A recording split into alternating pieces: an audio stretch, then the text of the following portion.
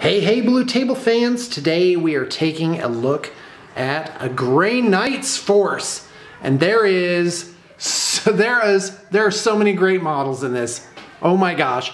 Well, let's start with the purifiers. These are the uh, some of the more basic troops.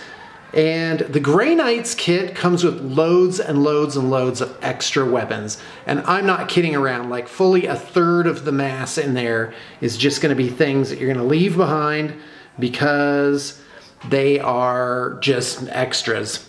And uh, so yeah, these guys look really cool. They have the robed uh, lower leg area.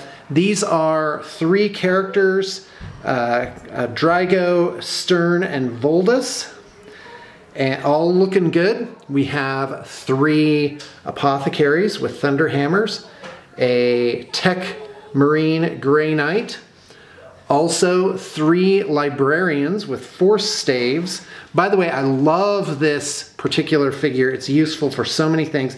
The head of that force stave can be used in a lot of really great conversions. And in fact, the Grey Knights kit has just so many extras in it. It's, it's really, it's really a cool uh, box to get. Then we have just some regular Terminators, and uh, those guys are awesome. The variation in weaponry, weaponry can make a Grey Knights unit very flexible, and they gave Grey Knights an enormous boost in uh, a recent edition. And then, of course, two banner bears here. And I do believe that makes the entire force, if I had to guess, this is at least 1,500 points, if not maybe even a 2,000 point army just in itself. And these guys, Grey Knights are still cool. The uh, models have definitely stood the test of time. They still stand up next to the new Primaris hotness. They've got loads of detail on them, loads of extras.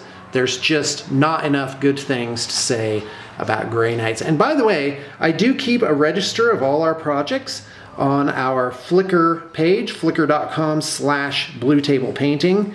And there you will find many, many thousands of projects that we have completed. I estimate 8,000 projects over the course of 17 years. However, it could be as little as 6,000. It's definitely not less than three, uh, which is as far as I know, an unmatched portfolio. And you should definitely look into Blue Table Painting to get uh, your project done, large or small. And we also welcome, unlike most studios, we do welcome mass projects like 300 Orc Warriors or, you know, 600 Goblins and uh, we're, we're, we're good at those too.